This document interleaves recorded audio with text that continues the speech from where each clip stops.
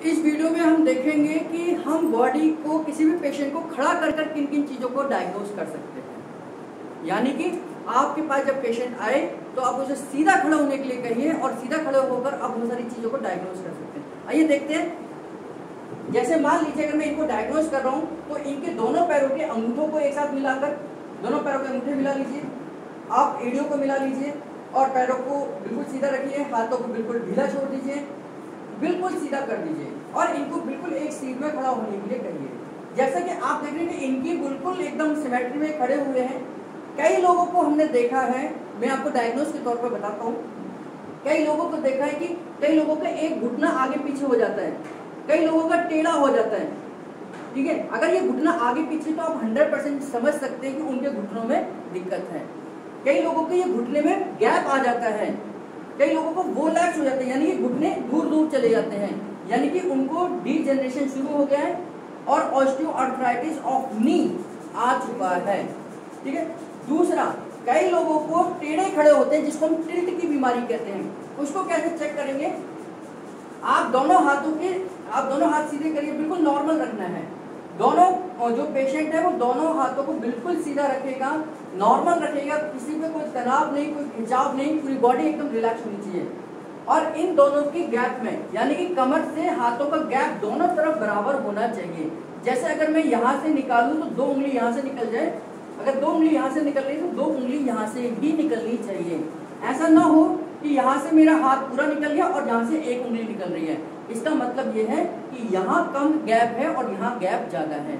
इसका मतलब ये है कि इनकी स्पाइनल बिल्कुल सीधी नहीं है। या इनको फ्रोजन शोल्डर यानी कि कंधे में कहीं ना कहीं कोई खिंचाव है, या इनको सर्वाइकल से रिलेटेड प्रॉब्लम है, ठीक है? तो जब हाथ ऊपर नीचे हो जाए, यानी हाथ के गैप हो जाए, जैसे मान लीजिए इनका ऐसे हो जाए और ये हाथ ऐसे रहे तो यहाँ गैप ज़्यादा है, यहाँ कम है। तो उस कंडीशन में शोल्डर यानी कि इनके शोल्डर की मूवमेंट कहीं ना कहीं स्टिफ आ रही है तो वहाँ से हम शोल्डर पे काम करेंगे शोल्डर का डायग्नोज करेंगे। और 100 परसेंट इनके हाथ की मूवमेंट अगर ऐसे पेशेंट की है तो ये नॉर्मल मूवमेंट करेगा हाथ, और ये एबनॉर्मल यानी कि कहीं ना कहीं इनको पेन आएगा मूवमेंट में। दूसरी चीज़, कई लोग टेढ़े खड़े होते हैं, जैसे एक कंधा ऊपर की ऐसे ऐसे खड़े होंगे। ये जो खड़ा है ये जो खड़े हो रहे हैं, इस कंडीशन में मतलब इनकी स्पाइन की अलाइनमेंट बिल्कुल ठीक नहीं है। अब इस कंडीशन में इनको साइटिका पेन भी हो सकती है, इस कंडीशन में इनको सर्वाइकल पेन भी हो सकती है, इस कंडीशन में इनको लंग से रिलेटेड डिज़ीज़ भी हो सकती है। तो इस कंडीशन में इनको बोलते हैं टिल्ट हो गए हैं। तो टिल्ट की कंडीशन को न्यूरोथेरेपी में हम सुपर फास्ट ट्रीटमेंट देकर, सुधाकर का ट्रीटमेंट देकर, या हम न्यूट्रल फॉर्मूला देकर, या हम मल्टीविटामिन फॉर्मूला देकर इसको ठीक कर सकते हैं। अब पीछे हो जाइए मान लीजिए इनके स्पाइनल में पेन है, यानी कि अगर इनको इनको यहाँ पेन है, इनको यहाँ पेन है, इसका इफ़ेक्ट यहाँ पूरे एरिया में जाएगा। यानी कि अगर केवल यहाँ पेन है तो ये एरिया सारा स्टिफ हो जाएगा। हाथों में नमनेस जा सकती है केवल सर्वाइकल की वजह से। हाथों में सुनपन आ सकता है सर्वाइकल की वजह से। हाथों में चीटी चीटी काट सकती है सर्वाइकल की वजह से। अगर ये इनका उठा हुआ ये भाग ऊपर की तरफ़ ज़्यादा है। जैसे ये सीधा कर रहे हैं और तब भी ये उठा हुआ है, यहाँ पर उठा हुआ है तो इसका मतलब ये है कि इनका पोस्टर इनकी मांसपेशियाँ आगे की तरफ़ ज़्यादा झुक गई हैं। कई लेडीज़ को आपने ऐसे देखा होगा कि ऐसे झुक जाती हैं। यानी कि वो आगे का वाला काम ही ज़्यादा करती रहती है, सीधे खड़े होकर काम कम करती है।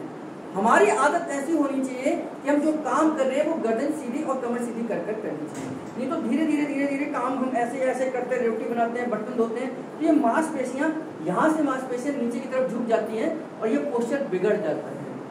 इसकी वजह से आपको सर्वाइकल में चक्कर वगैरह आ, आ सकते हैं। अगर यहाँ पेन है इतने एरिया में पेन है किसी भी वर्टिब्रा में तो इसका इसका मतलब यह कि आपको लंग्स से रिलेटेड डिज़ीज़ हो सकती है। क्यों? क्योंकि इतने एरिया का काम है, आपको लंग्स को दोनों को प्रॉपर तरीके से ब्लड सप्लाई पहुंचाना। इसके बाद में अगर मिडिल बैक पेन में किसी भी वर्टिब्रा में पेन है तो इसका मतलब ये है कि इनको डाइजेस्टिव सिस्टम से रिलेटेड प्रॉब्लम हो सकती है, चाहे एसिडिटी हो गैस हो, बदहजमी हो, कुछ भी है। क्योंकि इस एरिया का काम है, आगे के आपके डाइजेस्टिव सिस्टम के सभी ऑर्गन्स को ब्लड सप्लाई प्रॉपर तरीके से करना। इसीलिए हम न्यूरोथेरेपी में टी एट प्रेस देते हैं पैंक्रियास के लिए। जबकि पैंक्रियास आगे है और हम कहाँ ट्रीटमेंट दे रहे हैं, उसके ठीक पीछे। क्योंकि टी एट का मतलब है कि टी एट और टी नाइन से जो नर्व निकलती हैं, वो पैंक्रियास को ब्लड सप्लाई पहुंचाती है। T ten T eleven T twelve में दर्द है तो ये हंड्रेड परसेंट माना जाता है कि ये गैस की वजह से भी हो सकता है। तो T T ten T eleven T twelve में अगर पेन है तो हमें फोल्डेड लेग देकर उस दर्द को निकाल सकते हैं, यानी कि गैस की प्रॉब्लम को ठीक कर सकते हैं। अगर यहाँ पेन है इसका मतलब ये है कि अगर यहाँ पेन है तो इसका इफ़ेक्ट आपको दोनों पैरों में भी जा सकता है। अगर आपको यहाँ पेन होगा तो आपको साइटिका में पेन आ सकता है। अगर आपको यहाँ दर्द होगा तो दोनों पैरों में झंझनाट जा सकते हैं। अगर आपको यहाँ पेन होगा तो आपके घुटनों में दर्द हो सकता है। अगर आपको यहाँ पेन होगा तो आपको काफ मसल्स में पेन हो सकता है। यानी कि उसका लिंक आपके इस वर्टिब्रा से, इस मनकों से है।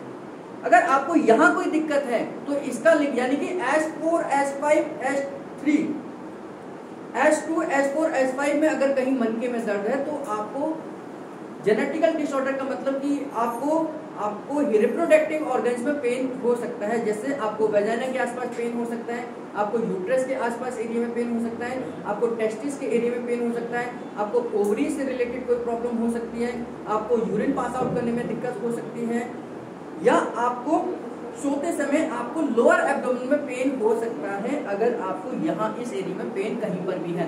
बैठने से आपको यहाँ दर्द आ रहा है। इसका मतलब है कि इसका इफ़ेक्ट आपके आगे वाले जेनेटस ऑर्गन्स पे भी जा सकता है।